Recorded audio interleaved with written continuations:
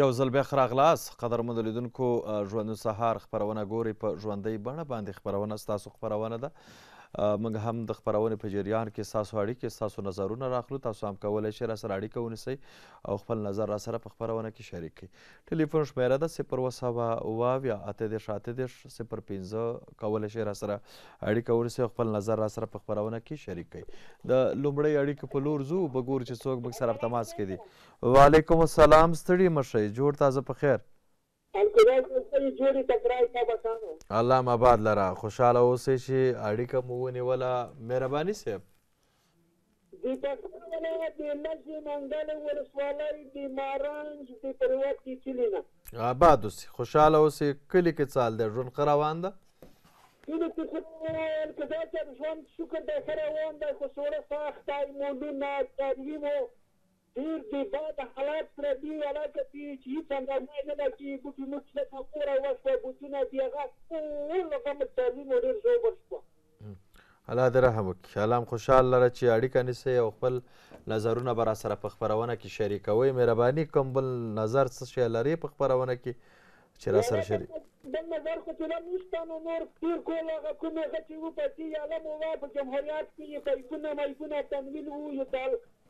څلور زره متره یالتو هغه پټی شه د ټولو کلیو شان شپه کوم هغه یه وار نه کړه فصلونه اوس به هغه سه څه پوته شه اوس به هیڅ نه کی خو اوس دی مو بو یی موږ یه زوند خطر دی مو لو ما ته وری اوس څاروی مو غویین مول د نور اوس دی مو لونه مړیی دا غه ډیر زو بلالا کړی. کور اباد ډېره مننه چې د پکتیا ولایت او د لژي منګل ولسوالۍ نه د مارنج له کلي نه مو اړیکه ونیوله او خپل نظرونه مو راسره شریک کړل ښه وخت درته غواړو په پکتیا کې کور اباد کور اباد ډېره زیاته مننه کوو چې په خپرونه کې اړیکه نیسئ خپل نظرونه راسره شریکوئ صفر اووه سوه اووه اویا اته دېرش اته دېرش صفر پنځه ټلیفون شمېره ده کولی شئ راسره اړیکه ونیسئ خپل نظر راسره شریک کړئ بله سلام علیکم هلو بله سلام علیکم هلو غږ مشته مهرباني څوک له کوم ځای نه کله چې اړیکه نیسئ د تلویزیون اواز کموئ راډیو اواز کموئ تر څو غږ هم په صحیح توګه باندې واورو او کوم وخت چې مو تاسو لپاره ځانګړی کړی باید د دې وخت نه ګټه واخلئ وعلیکم سلام ستړي مه شئ صاحب صفر اوه سوه اوه اویا اته دېرش اته دېرش صفر پنځه ټلیفون شمېره ده نن د پنجشنبې ورځ ده او د شنبې نه تر پنجشنبې پورې تاسو ژوندون سهار خپرونه په ژوندۍ بڼه باندې اورې ګورې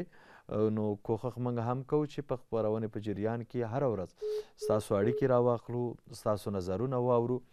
تاسو نه ډیره زیاته مننه کوو چې خپل خبرونه کې اړیکه نیسئ او خپل نظر را سره شریکوئ کور مو آباد خوشاله اوسئ اړیکه به راوالو به ګورو چې څوک موږ سره په تماس کې دي وعلیکم سلام ستړي مه شئ جوړ تازه په خیر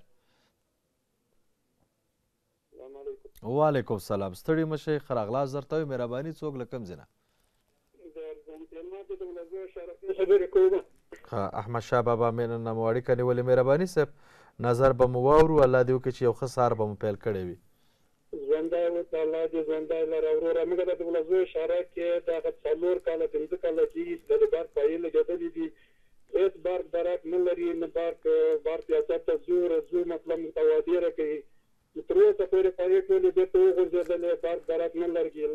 لري بل طرفونه دې موږ مکمل ړانګ دي بس شراب ولا توجه نه ورکوي بیخي دومره په تکلیف یو چې د اندازې نه زیات بس برق خو غټ لوی نعمت وي د برق د وجې خو تاسو ګور چې کله برق نه وینو ډیری وخت چا خبره غف افریقې چې کوم د برق له وجې دی هغه هم که برق نه وینو تړل کیږي تقریبا د پارک صنعتي فابریکې که موږ تاسو مثال درکو یا نورې فابریکې یا د کورونو ضرورتونه دي هر څه د برق له وجې کېږي چې برق وي نو کور آباد خوشحاله اوسي چې اړیکه مو ونیوله خپل نظر مو راسره شریک کړو په مجموع کې په ټول کابل کې او خصوصا په نورو ولایتونو کې هغه کومه کچه د برق وه تقریبا تر پنځو ساعتو پورې راغلې ده، دوه ساعته یا د ورځې یا درې ساعته د شپې دغه برق پرېږدي ځکه چې موږ چې په تماس کې کېږو یادونه د دې کوي چې مثال په ازبکستان او یا تاجکستان کې د برق څه ستونزه تخنیکي ستونزه یادونه کېږي د دې په هیله وروره زموږ توبه فریاد وروره زموږ دا پنځه کاله کېږي چې موږ په دغه تکلیف کې اوسره یو دا خو اوسنۍ خبره نه ده پنځه کاله یې ووتل نو کله چې تاسو ورځئ څه وایي چې د خیره پلان به کله دغه پروژه به کله عملي کیږي؟ موږ ته دا وایي چې هغه مرکالونو پورې به صبر وکړئ دغه نوی کال روان کال کې به تاسو پروژه عملي شي خو دا داسې وایي چې دوه دوه نیم سوه پایې لګیدلې وې منه ټولې بیرته وغورځیدلې سرکونه خام دي لارې خرابه دي ټول کچا دي ټولې بیرته وغورځیدلې دا کوم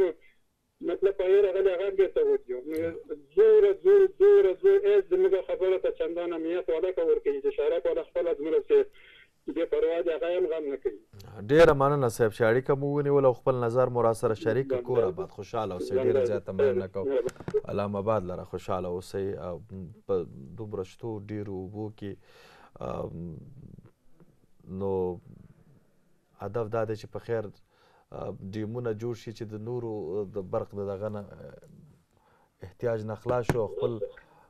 خودکفا وطن او خودکفا برق ولرو او دا به نه وي چې نن تخنیکي ستونزه ده او نن نه ده نو ټول ولسونه به هم په خوشحالۍ ژوند کوي او زموږ هغه کاروبار به هم د ټولو روان وي که هغه که د فابریکو والا دي که کارخانې لري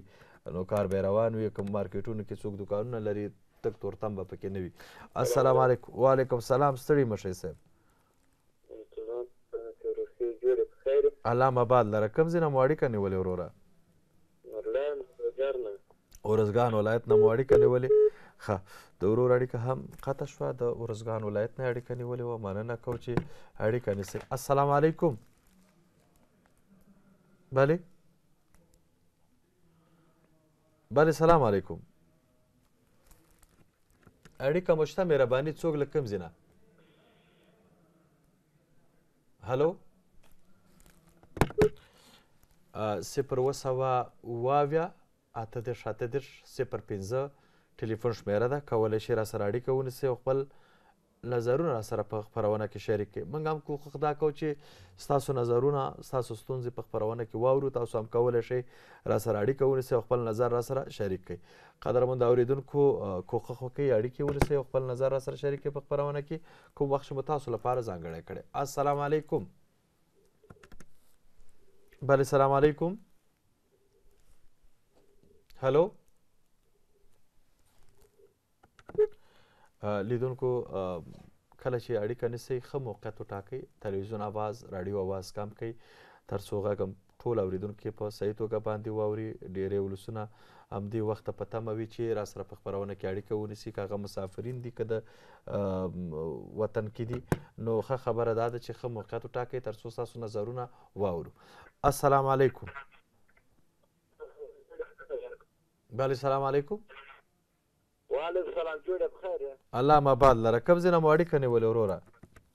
عبدالغنی کندوز نه مې اړیکه نیولې. عبدالغنی وروره څنګه یې کندوز ولایت کې څه حال دی ژوند ښه روان دی؟ الله مباد لره مهرباني وروره نظر به مو واورو په خپرونه کې وروره زه د هندو کې بیا هم د سنت باندې انشاءالله ډېرې به چا شل ډېرې به مرګ نیولی دی وروره ضرور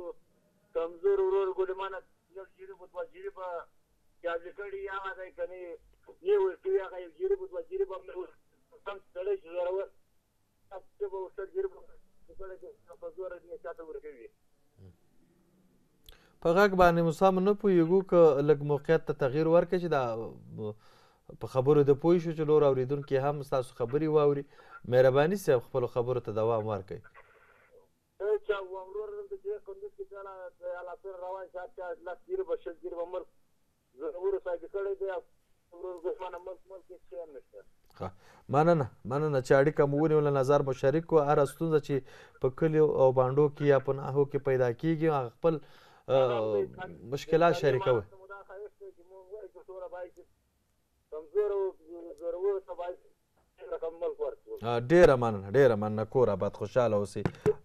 ډیره وخت د زمکو هغه لانجی پیدا کیږي په کلو کې نو ښه خبره دا ده چې هغه کوم مسولیت چې هلته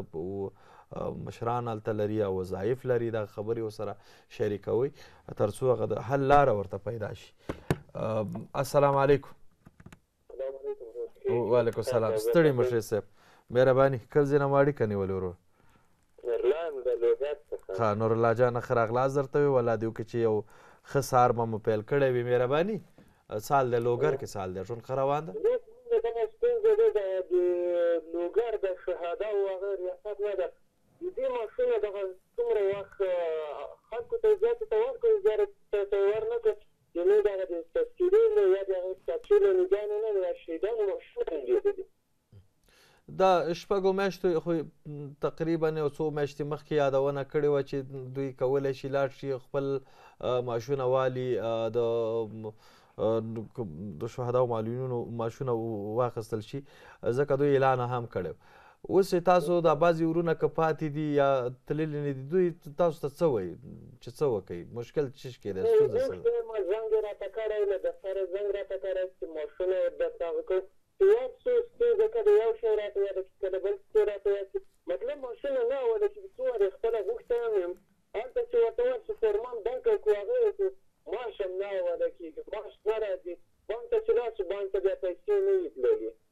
ډېر زبر عادت دی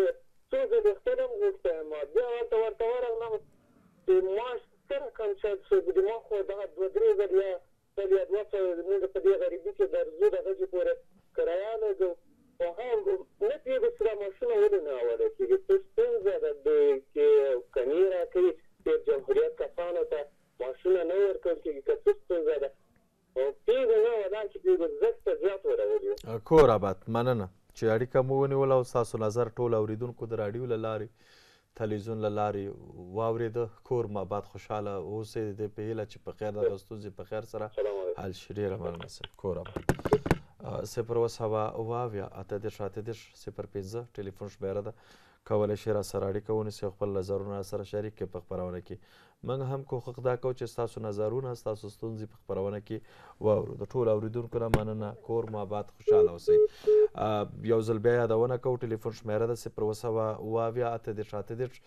صفر پنځه ټلیفون شمېره ده کولی شئ راسره اړیکه ونیسئ خپل نظر راسره په خپرونه کې شریک کړئ یا شل دقیقې یا نیم ساعت یا پنځه څلوېښت دقیقې هر څومره وخت چې موږ تاسو لپاره ځانګړی کړی تاسو کولی شئ راسره اړیکه ونیسئ او نظر شریک کړئ بله سلام علیکم هلو هلو غږ مشته مهرباني صاحب څوک لکم زیره هلو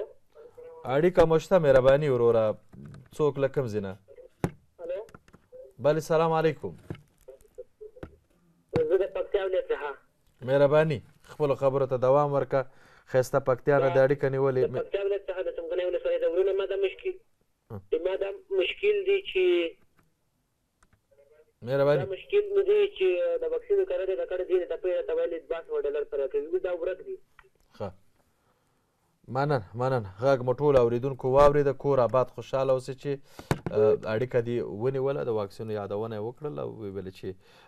یا به یې کار کړی وي او کومه اندازه روپۍ چې دوی ته ویلي دي وي چې راته نه دي راکړي دي په هیله چې په خیر څوک چې ستاسو هلته مشر او تاسو دغه مسولیت درکړی دی هغوی سره په تماس کې شي او د حل لاره به ورته پیدا شي صفر اوه سوه اوه اویا اته دېرش اته دېرش صفر پنځه ټلیفون شمېره ده کولی شئ راسره اړیکه ونیسئ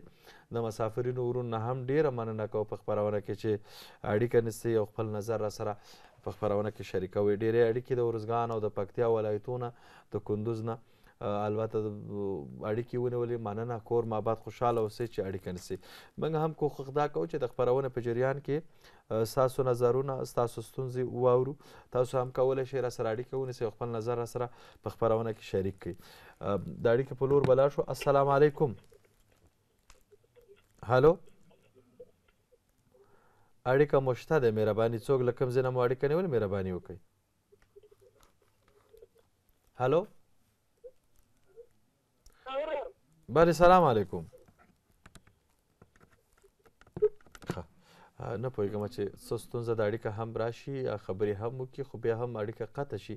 البته په شبکو کې به کومه ستونزه وي ډیری ورونه چې اړیکه نیسي نو موږ ورته بار بار یادونه دا کوو چې تاسو ښه موقعیت ټاکئ تر څو ستاسو غږ په صحیح توګه باندې ټول اوریدونکي د راډیو له لارې تلویزیون له لارې ستاسو غږ واوري صفر اووه سوه اووه اویا اته دېرش اته دېرش صفر پنځه ټلیفون شمیره ده کولی شئ راسره اړیکه ونیسئ هوا هم یخه ده او ډریوران ورونه مو هم هیله دا ده چې دوی تګ راتګ په لوی لارو باندې لري بار بار یادونه هم په خبرونه کې کوو چې دوی ورو لاړ شي د احتیاط نه کار واخلي خدای ناقصه د کوم ټکر سره لاس او ګریوان نشو ډیری ولسونه د ټکر یادونه ډیره کوي چې په لوی لارو باندې ټکرونه ډیر وي کلګ نا وخت رسیک وعلیکم سلام ستړي مشري هالو مننه کوم ځای نه د اړیکه نیولې ښه مزار شریف نه د اړیکه نیولې څه حال دی مزار شریف کې څه حال دی ژوند ښه روان دی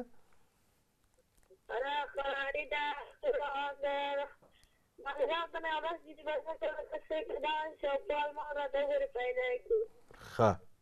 ډېره مننه کور اباد خوشحاله اوسې چې اړیکه دې ونیوله او خپل نظر دې راسره شریک کړ په خپرونه کې ډېره مننه کور اباد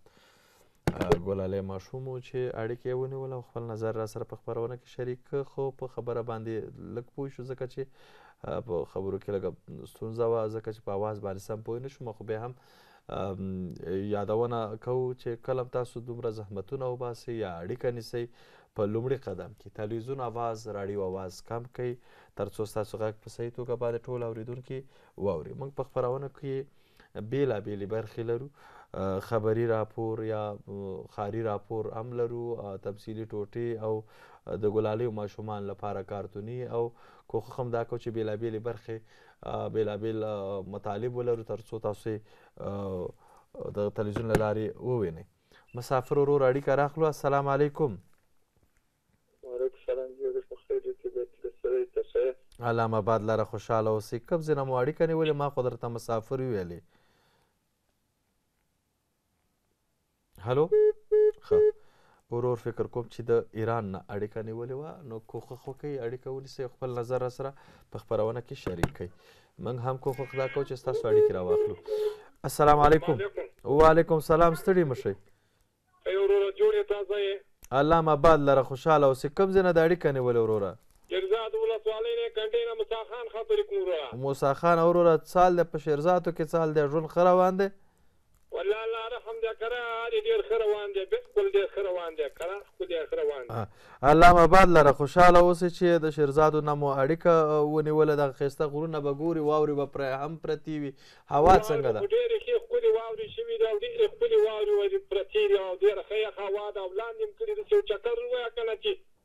ښه غوښه به درباندې خورم وروره وچه غوښه. بس ان شاء الله ولې نه نو خدا خو زموږ او تاسو خپل وطنونه دي او د خپل وطن ګل وطن هر وطن ته چې ځو د ولسونه هم دا غوښتنه وي چې الکوزی صاحب وایي راشه لږ چکر ته راشه او بس ان شاء الله کومه ورځ که پروګرام ته شو د خیره درځو خو خپل نظر هم را سره شریک که څه نظر لرئ مهرباني په خبره خو دغه نظر لرو وروره چې دغه دوه میاشتې کېږي دغه د پاکستان مشال رادو بنده ده او که دغه رادو موږ له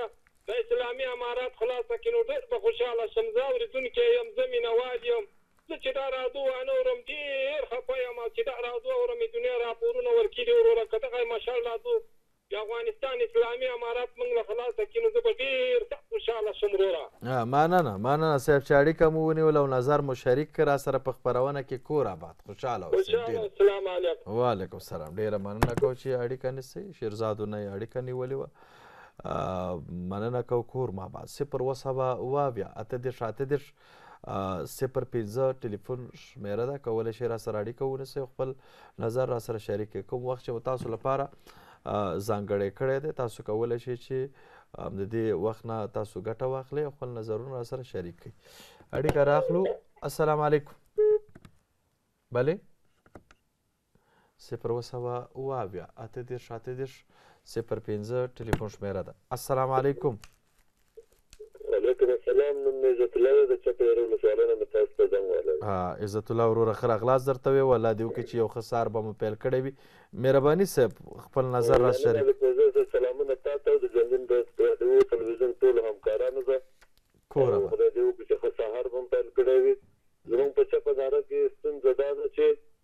او په دېرشم کاله تېره دوره کې د اوسنۍ هم چنان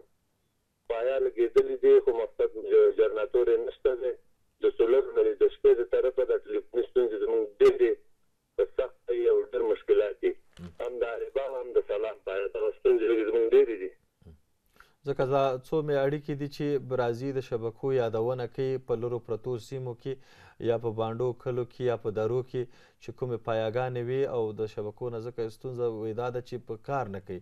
او بیا هغه کوم دوی چې یا به یو څوک کاروبار لري یا به مړی ژوندی وي او ټلیفون له لارې به یو څه خبرې وي خو بیا هم دوی سره په ستونزه کې دي په هیله چې دغه ستونزې په خیر سره حل شي ستاسو غږ ټول اوریدونکو واورېده، هم د راډیو له لارې، هم د تلویزیون له لارې، کور مو اباد، خوشحاله اوسئ چې اړیکه مو ونیوله. مننه خوشحاله اوسې. کور اباد، ډېره زیاته مننه کوم، ښه وخت درته غواړو، ځکه چې په داسې درې شته دی چې یو هلته پایا وي او بیا وي تقریبا یو اته یا دولس څوارلس ساعته یي یا پنځه ساعته یي یا دوه درې ساعته یي، نو دا زموږ د ولس خبرې دي چې موږ سره یې په خپرونه کې شریکوي او خپل نظر راسره شریکوي موږ د هر چا د نظر قدر کو کور ما بد خوشاله اوسئ چې اړیکه نیسئ السلام علیکم وعلیکم السلام څنګه نو جوړ خیر الله مباد لره خوشاله اوسئ کوم ځینه مو اړیکه نیولې مهرباني صاحب اړیکه مې د کندوز امام صاحب ولسوالۍ نه نیولې وه ښه ښه راغلاست درته یو څال دی په کندوز کې څال دی ژوند ښه روان دی شکر ده الحمدالله بیخی خیر خیر د قلاری ده ها مهرباني صاحب نظر به مو واورو په خبرونه کې صاحب د دې امام صاحب ولسوالۍ کې موږ تاجکستان سره په سرحد کې پراتی دلته چې دا ده انټرنیټ ډیر مشکلات دی او دا خاصا قریبا افغان ویسیم کار کوي نور کار نه کوي ښه کور آباد غږ مو ټولو اوریدونکو واورید او خپل نظر مو را سره شریک کړ د دې په هیله هغه کوم مشکلات چې دا په خیر سره حل شي او هلته چې څوک وظایف لري یا مسؤلیت لري دوی سره د خپلې خبرې شریکوي چې او د حل لاره ورته پیدا شي کور آباد ډیره مننه کور آباد مننه کو چې د اړیکه نسې او خپل نظر مو را سره په خپرونه کې شریک کو موږ به هم یو اخیری اړیکه راواخلو چون وخت هم کم دی او نورې برخې هم لرو په خپرونه کې السلام علیکم الله مباد لره خوشاله اوسې کوم ځای نه مو اړیکه نیولې وروره د بغلان نه مخته ځي نه. ښه بغلان ولایت نه مو اړیکه نیولې. ښه راغلاست درته ویو. څه حال دی په بغلان کې څه حال دی ژوند څنګه روان دی. هغه د ما دوه طالبان هم درلودل یو نوم هم ورکړی ده هلته مهرباني غږ مو اورو مهرباني خپل خبرو ته دوام ورکړئ وروره د بغلان مرکزي له مو تماس نیولی دی، ما د دوه تنه معیوبان هم درلودل، یو نوم هم ورکړی دی هلته په هغه کې. ښه نوم به چیرته دغه کړی یو نوم هم ورکړی دی، د بانک کارت یې راکړی دی، بیخي دا پنځه میاشتې کېږي، سړک یې نشته، د حکومت یو دغه معلومات مل راکړی وی. کور اباد خوشحاله اوسې چې اړیکه دې ونیوله او خپل نظر دې راڅخه شریک کړ ډیره مننه کور اباد خوشحاله اوسې اړیکه مو ونیوله د بغلان ولایت نه مخکې هم د بشري مرستو یا نور د تقاوتونو یادونه ډیره زیاته کیږي د بشري مرستو پرون هم کوښښ دا کوو چې د هرې سیمې وکیل ګذر یا د ملک یا رئیس د ناحیې له ځان سره په خپرونه کې مېلمانه کړو، لکه څنګه چې وکیلو صیبانو یادونه وکړله او خپلو خبرو کې د سهم خبره یې وکړه، که چېرته په یو کلي کې یوولس سوه کوره وي یا تر دا ګذرونه دي ویشل کېږي، تقریباً په یو احمدشاه بابا مېنه کې تر څولېښت ګذاره دي نو هر یو ته بیا خپل پنځه ویشت یا شپږ ویشت کوڅې ور رسیدلي دي نو که موږ او تاسو وګورو تقریبا ډیر وګړي کیږي نو که یو څه هم راځي دېرش فیصده نو یا دېرشو کورنیو ته یو څه راځي نو دغه ټول کلي ته ورکولی نه شي ځکه دغه زموږ د وکیل ګذرانو خبرې وې چې په خپل خبرې تاسو سره هم شریک تاسو به هم اوریدلی وي د تلویزیون له لارې نو د دې په هیله چې په دې وطن کې هم د کار زمینه د وګړو ته زموږ د ولسونو ته پیدا شي دا ولسونه هم په خوشحالۍ ژوند وکړي قدرمن لیدونکو د اړیکو برخه هم همدومره وله تاسو نه ډیره مننه کوو چې اړیکه مو ونیوله خپل نظرونه مو را سره شریک کړل خبري راپور هم چمتو دی هغه به هم وګورو بیا هم موږ سره پاتې شئ خپرونه ستاسو خپرونه ده ملتیا مو وکړئ.